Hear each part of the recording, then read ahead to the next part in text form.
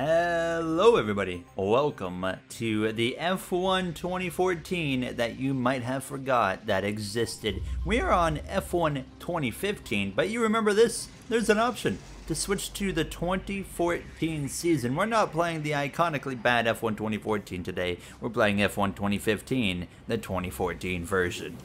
Alright, so here we are. Now, I can confirm at uh, some point I'm going to be doing a championship season. I don't really think I can do a F1 2013 season, uh, so it's looking like that I'm going to have to do straight to 2014 unless I can get my Xbox 360 to work properly. But let's let's jump in here now. I mean, we of course have a whole lot of circuits to choose from. I don't know which one I want to do. Actually, I do know exactly which one I would probably like to do, and it's, it's Hockenheim. I love Hockenheim so much. We don't have it anymore, of course, I think we're going to mess around on Hockenheim here uh, and see what we can do in the German Grand Prix. You guys know exactly who I'm going to be, but remember, we got all these 2014 drivers and whatnot. Oh, man, this brings back memories. Caterham, this was right in the time when I was just starting to get into Formula One, 2014, 2015. Uh, Marussia as well uh, in there, and then, of course, uh, back when it was Sauber, Toro Rosso, and Force India again, and, and then uh, Lotus was still in the sport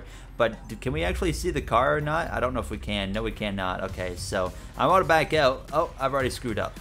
All right, so we're back uh, ready to go here. So I'm going to be my favorite driver, obviously, Sebastian Vettel, alongside his uh, teammate the 2014 season, Daniel Ricciardo. So we are going to do, uh, let's just do a 25% race here in Germany. And we're going to go with clear weather, no qualifying, no practice. We're going to jump right into it. I am on my wheel, so we'll see what happens here. Uh, damage on full, that works for me. Corner cutting, yeah, all that seems okay. Let's jump in.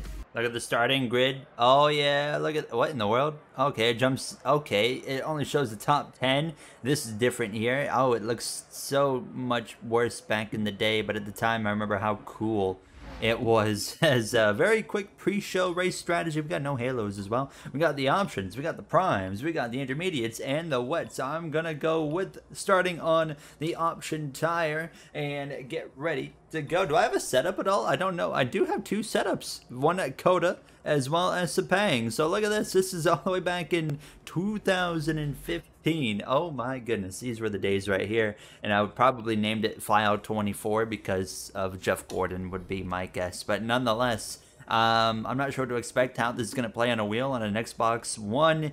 But we're going to find out in about three seconds. Let's get ready to go. Lights out from fourth place here. No clutch or anything to hold. Okay. All right. Here we go. Five red lights. We're underway. Jeff's still talking, and we're already underway. Oh, I am slipping sliding like crazy already. Down into turn one. The camera angle, it feels so weird. Okay, so that was...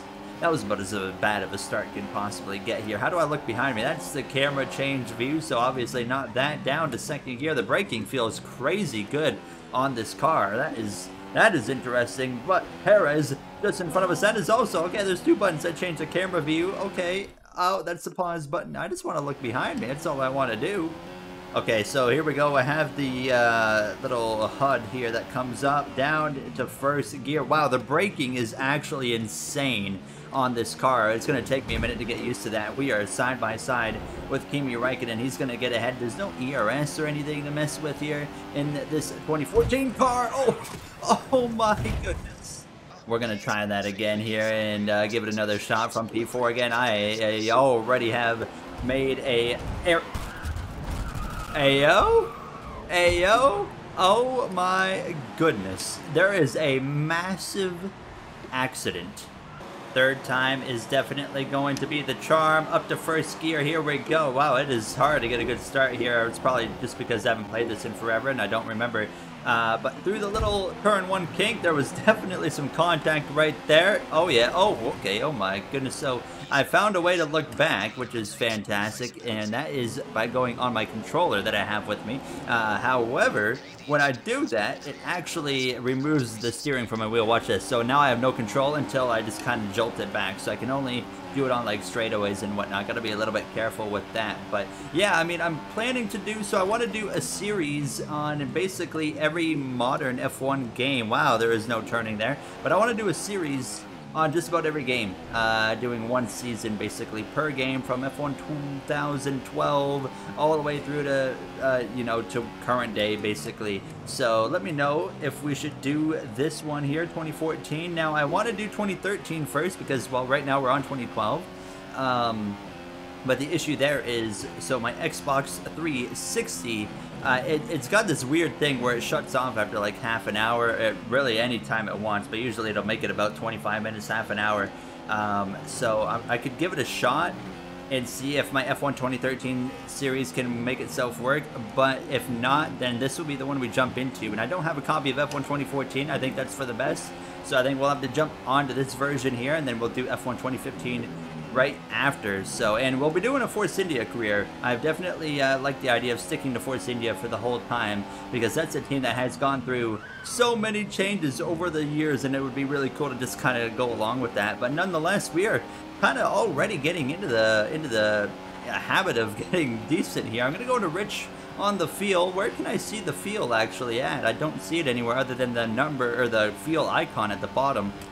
I gotta say, it is honestly crazy how good the brakes are in this game. I mean, I feel like I can brake wherever I want like I'm Superman, but we are currently P7 as Vettel. We can definitely run better than this. There we go. We are making some time now. Sebastian Vettel's favorite corner right here. This is where I still feel like the 2018 title ended right here. Just Sebastian Vettel was never the same after this moment in in or not Hungary. Why am I thinking of Hungary? But in uh, Hockenheim it just never felt the same after that for the rest of his career.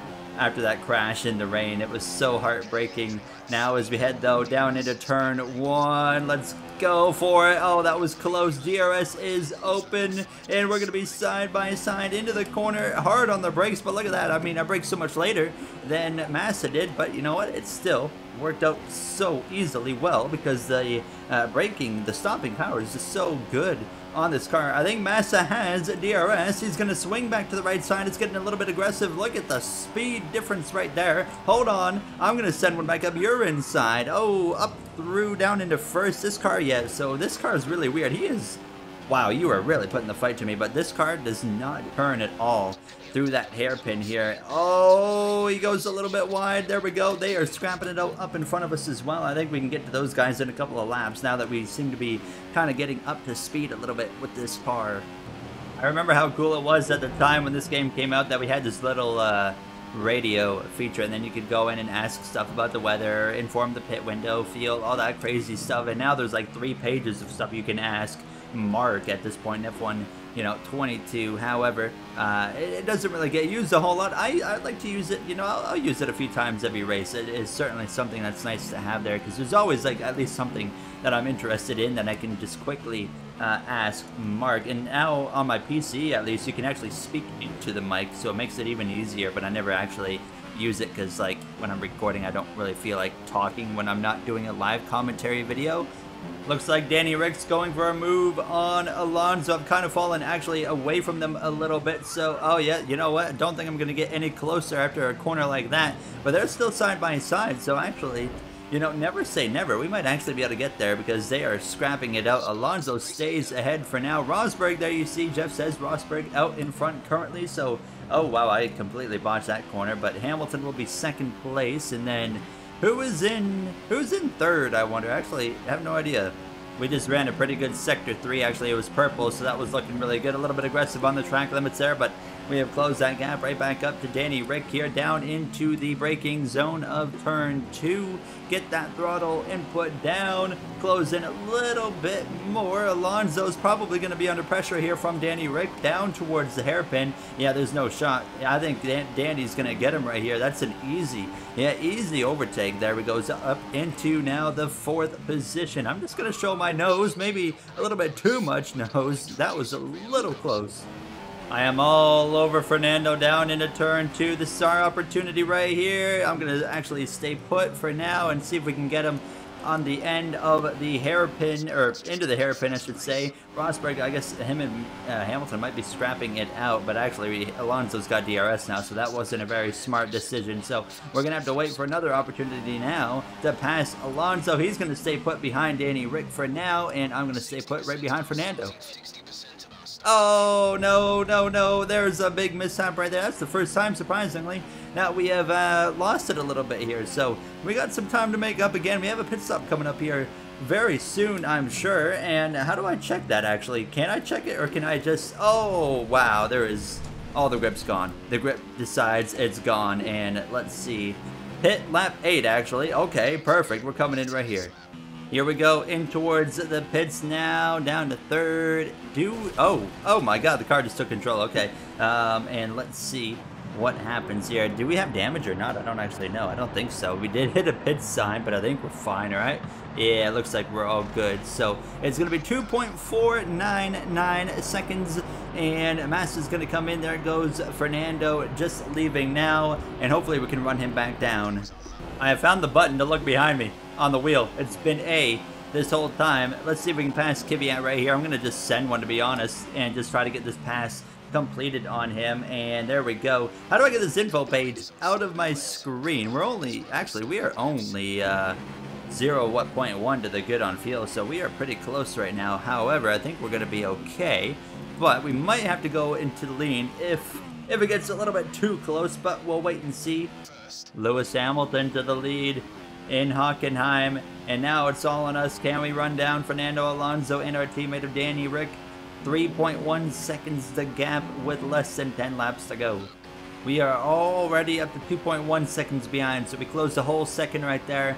Seven laps to go. I think we can get there, and I can see the leaders. Actually, someone's is someone got a blue flag. I got focused on that and was looking at that, but I think someone's already somehow in in 11 laps has managed to go a lap down. Alonso is about to have his hands full here. Massa's doing fantastic right now, running in P7, and I there's definitely someone up there with a blue flag, so this is going to be interesting. I'm most curious just to see who has managed to get themselves lapped in 12 laps of this Grand Prix. Now, the more I'm seeing that track map, it's like uh, that, that dot that I originally saw that was blue doesn't seem to be blue anymore, so I'm like, wait a minute. Was there even a blue flag at all? Or, I don't know, I'm confused now. Maybe there's no blue flags whatsoever. We are all over Fernando now. It is game on. We have put together a really good last half of the race so far, and we are about to have an easy opportunity to pass him right here. He passed us earlier through this DRS zone, but it's going to be vice versa this time around. Hello, Fernando. I'm going to swing to the right-hand side.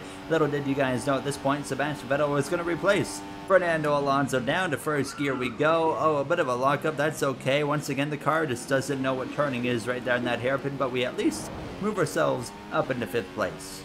So it is uh, it's Romain Grosjean with the blue flag, as well as Jean-Eric Vergne. Impressive that he's still uh, in the sport at this time now. As you can see, Ricciardo was able to get past both of them. I had a really bad hairpin as usual, so it's going to take me a little bit longer to be able to get past these guys, but hopefully um, by the end of Sector 1, we'll have them both dealt with. I mean, Grosjean, you could pull over right here. Thank you, sir. Uh, you know what? It's like he was listening to me. Thank you very much. Oh, Jean-Eric Vergne, my dude. That was a close call, but there we go. Up uh, in front of those guys now, and let's see if we can get to Danny Ric with three laps remaining in this Grand Prix. A little bit of oversteer right there, but we're okay. Oh, oh, I see somebody off on the mini-map. Somebody has gone off. The track is clear though, just a quick little moment. They have, I can see, already gotten back on circuit, so not sure exactly who that was. I think it was, oh, I'm into the sand, but I think it was Alonso because Massa's up now into sixth place. Out of the final turn, one lap remains in Hockenheim. The gap is 1.4 seconds between myself and Ricciardo. Can we find a way to gain four tenths? I think we just did, actually. We are a little bit closer. Let's see. Down into the braking zone. Oh, boy, I braked a little early, and then I ended up just kind of going way too deep into the corner after that. So it's not going to be DRS, I don't think. Uh, yeah, I don't think so. So, yeah, no DRS. We're going to have to find a way to gain a whole lot of time on Danny Ric in these final couple of sectors without any assistance. And here we go, down into first gear. I drove in a little bit deep to say the least, but hey, you got to do what you got to do. Try it out. And let's see, there is some slower traffic up there that we will not get to, so that will not be a factor. Down into the braking zone to third gear, and oh, we're, we're definitely quicker than Danny Ric right now, but I just don't have enough for him through the final sector we head now, and it's going to be, I think, Hamilton getting the win. We're about to find out, but the gap, 1.1 seconds, abusing every track limit I can. Lewis Hamilton wins in Hockenheim. We close up to Ricciardo, but it's not going to be enough unless something crazy happens here in the final moments. Do we have anything? Hold on, hold on a second. Hold on a second. Oh, it was close. I tried. I tried to get a little spicy right there with Daniel, but not enough. P5 in Hockenheim. But we will take that. A lot, a lot of fun uh, to play F1 2015, but the 2014 version there is Sebastian Vettel climbs out of the car.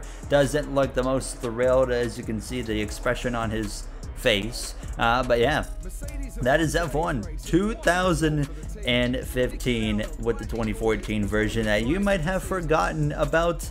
If you guys enjoyed, you know what to do. I don't know how many uh, cars or how, how they all managed to go a lap down like that. Sutil as well actually got a five second time penalty for ignoring yellow flags. So there you have it. But that's going to wrap it up for me. I hope you guys enjoyed.